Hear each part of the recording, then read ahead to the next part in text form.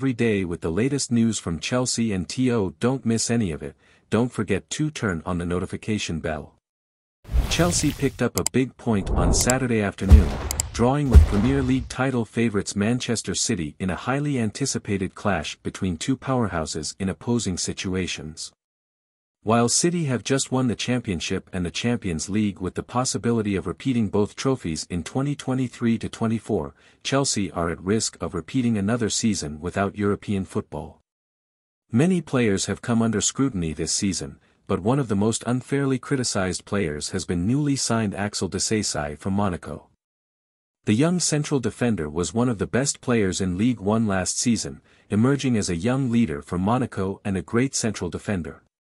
He was also excellent on the ball, including some ferocious shots from behind the box.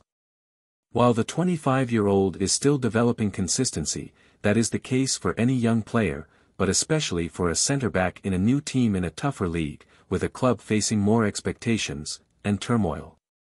Disasi is Chelsea's most talented defender, even above another former Monaco standout, Benoit Badiashile. This is because Disasi offers something extra with his ability to win and even have possession of the ball as a central defender. The Frenchman faced and responded in style to his criticisms against the toughest attack in Europe, dominating Man City defensively with 16 hits and 3 blocks.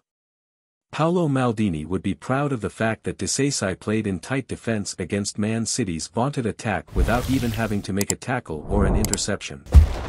When Disasi is at his best, he is no nonsense, action-packed and capable of nullifying any striker in the world. Disasi is one of the last players that Chelsea fans or pundits should heavily criticize, even though constructive criticism is always welcome. There is a young core at Stamford Bridge who are capable of leading a turnaround in the Champions League title race. Disasi seems to be part of this.